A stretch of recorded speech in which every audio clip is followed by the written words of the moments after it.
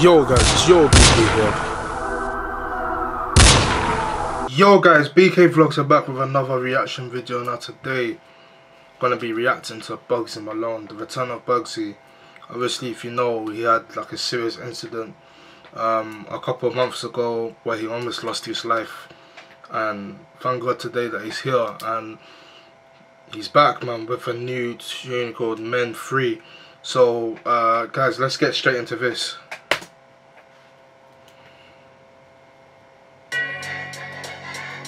Yo, spoke to him alone. I see, as soon as I got to the hospital, the nurses told me I'm lucky to be alive. Three weeks later, I get a blood clot in my chest. The shit nearly killed me. Man. And now I'm back. They don't call me the king of the north for nothing. Watch this. Alright, so mommy used to sell herself. Drop couple rocks into a pipe and light it up. Think I didn't come from hell. My old bestie said my head's gone, it must be mental health. But I got killers in my family, in case you couldn't tell. And I didn't wanna see them niggas, so I got it hella stealth. And when I saw those idiots, I told them by myself that I don't fear nobody. I've still got ups that want me bodied, but them man are still living in a cell. And if I have to go back there, I. know, fam, it's intense already, fam. It's mad. Swear I'm going in. I pray a lot these days in case I have to sin.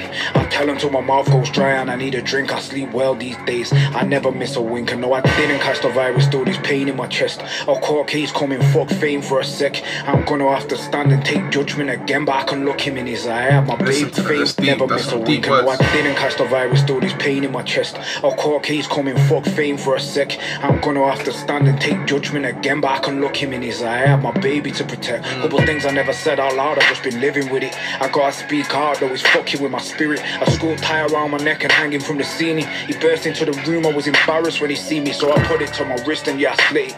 Didn't cut it deep, though I gotta say I shit it. Her mummy was a nitty, but when I heard she turned one of her customers into my dad, I gotta say I really nearly did it, but I told myself I would never do anything silly. I told myself I'd take it out on niggas that fuck with me, and that's why I never lost, and that's why I'm a boss, and that's why I was the first one to rep my city. I got fake friends talking like I don't show intelligence. Like I didn't demonstrate due diligence. Man telling me about my residence. Like I couldn't give a green light and leave no evidence. Ah, place in the Louis. Waves under the Dewey. Skeleton Cartier so I can see through it. See these levels to this British shit and me, I'm top tier. Any talk of me not being a legend stops here when the car pulled up.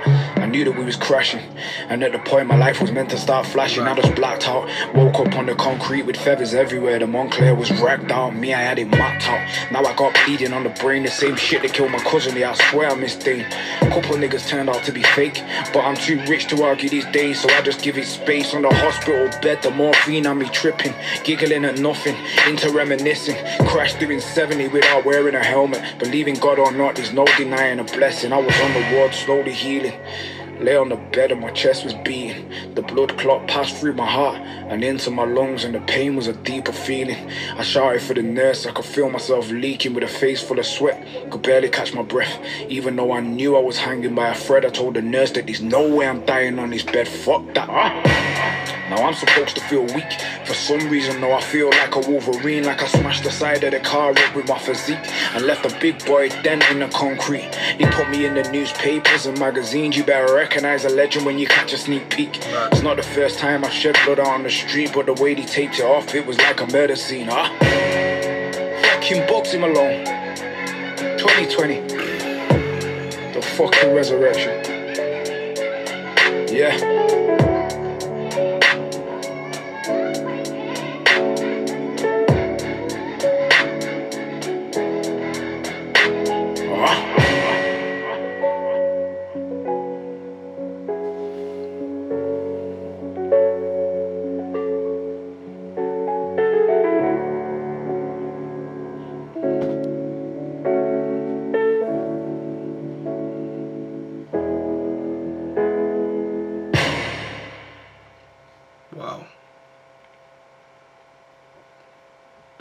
Resurrection.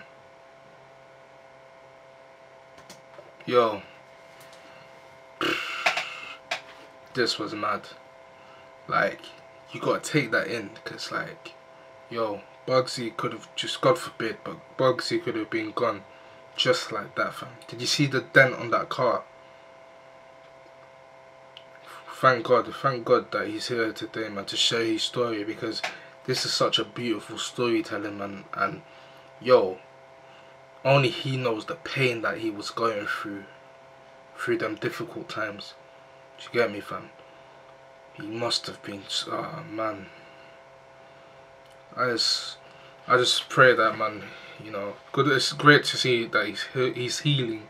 Uh, I don't know if he's fully healed, but it's great to see that he's healing, and he's come back with this absolute fantastic story to tell us.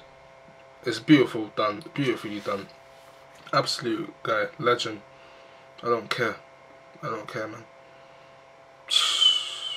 It's mad. It's mad. But man, pick up Bugzy Malone, man. Like sharing his story, sharing the pain that he's gone through. You know, like you don't, you never want to see like your family or whatever go through that kind of stuff. So like, we're just grateful that he's back. You know, back healthy and doing his music and doing what he loves doing. Do you get me, man? But big up him, man. Big up him. Beautiful song, man. Beautiful storytelling. But listen, I've just reacted to Bugzy Malone, Men Free. Um, I can't wait what's in store for um, Bugzy.